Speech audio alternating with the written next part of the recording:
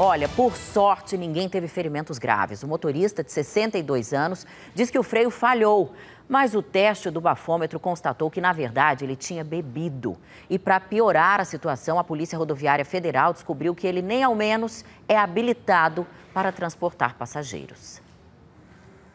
O acidente foi na rotatória do trevo das BRs 153 e 414 no perímetro urbano de Anápolis. O veículo tinha saído de Jaraguá e estava indo para Planaltina, no Distrito Federal. Em vídeos que circulam nas redes sociais, é possível ver os passageiros sendo retirados do ônibus, a maioria crianças. Por causa da batida, o congestionamento foi grande na rodovia. Funcionários da concessionária que administra a rodovia ajudaram a controlar o trânsito.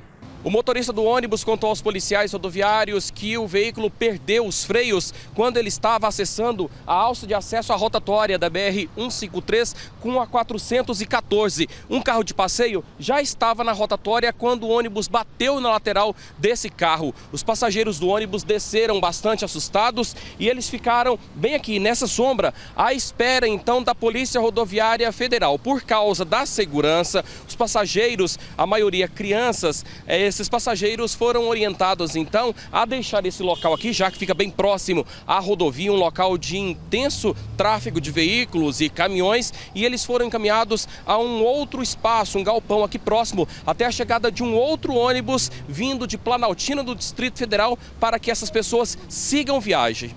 Ao fazer a, a, as medidas cabíveis aqui, a gente constatou com o etilômetro que ele se encontrava embriagado né, tem um teor, teor alcoólico aí de 0,29.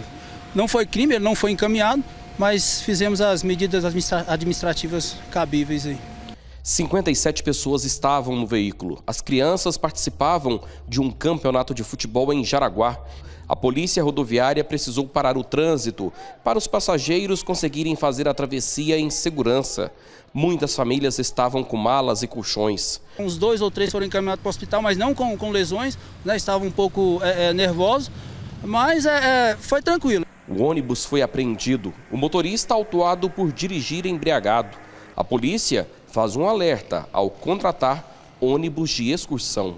Dê uma olhada primeiro, dê uma volta no ônibus, olha a, a, a, a questão dos pneus, olha se o pneu está bom, olha se o motorista tem alguma atitude suspeita, se ele está com o olho muito vermelho, está lacrimejando, se, né, qualquer coisa suspeita, você pode chegar, indaga o motorista, porque se tiver alguma coisa suspeita, você pode falar, olha, eu tenho que ver se esse motorista tem condições de, de seguir viagem.